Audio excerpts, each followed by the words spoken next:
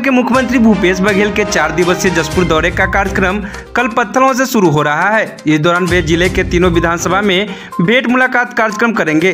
दरअसल, भूपेश बघेल का पहला दौरा पत्थलों में संभावित है और वे मुख्यमंत्री बनने के बाद पहली बार पत्थलों विधानसभा क्षेत्र पहुँच रहे हैं। इसलिए लोगों में उत्साह बना हुआ है। मुख्यमंत्री के पत्थरों आगमन को लेकर पत्थरों विधायक राम पुकार सिंह ने बताया कि सीएम पद की कुर्सी पर बैठने के बाद भूपेश बघेल पहली बार पत्थरों आ रहे हैं और इस दौरान उन्होंने विभिन्न कार्यक्रम आयोजित है, जहाँ वे सीधे जनता से संवाद करेंगे और उनकी समस्याओं का निराकरण करेंगे। सीएम के आगमन को लेकर कांग्रेसी कार्यकर्ताओं में भी भारी उत्साह देखा जा रहा है। देखिए, प्रदेश के हमारे यशस्वी मुख्यमंत्री माननीय भूपेश बघेल जी का आगमन सरकार बनने के या भूपेश बघेल जी के मुख्यमंत्री बनने के बाद पहली बार यहाँ आगमन हो रहा है।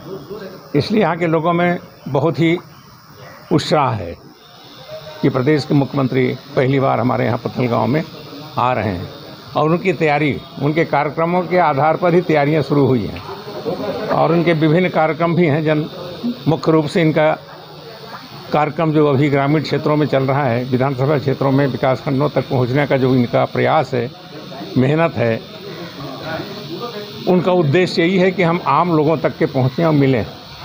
इसीलिए उन्होंने कहा, जितने भी उनके चौपाल लग रहे हैं, उसमें पीछे लिखा हुआ होता है, भेंट मुलाकात। भेंट मुलाकात में बहुत सी बातें आती हैं। सामान्य तौर से चर्चा होता है, न भाषण का मंच है, न राजनीतिक मंच है।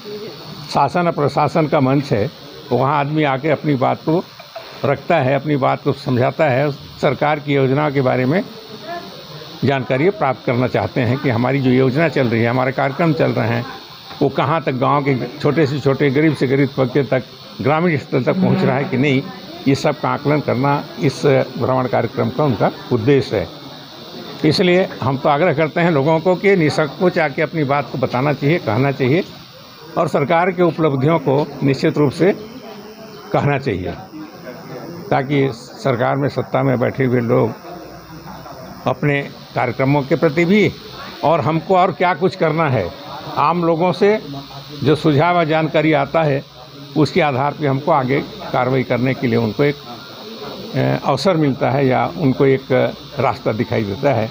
इन्हीं सब उद्देश्यों से लेकर आ रहे हैं, इसलिए हमारे यहाँ विभिन्न कार्यक्रम हो रहे हैं। और माननीय मुख्यमंत्री जी का अच्छा से अच्छा भव्य स्वागत हो, ऐसा हम सबका प्रयास है।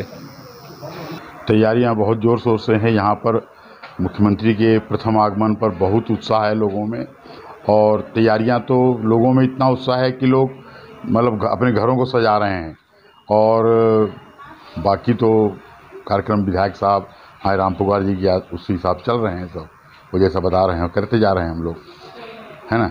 और तैयारियाँ इतनी हैं कि भूपेश जी को ऐसा खुश करके भेजेंगे यहाँ से कि वो कई सौ करोड़ों की सौगात दे के पत्थरगाँव को जाएँगे।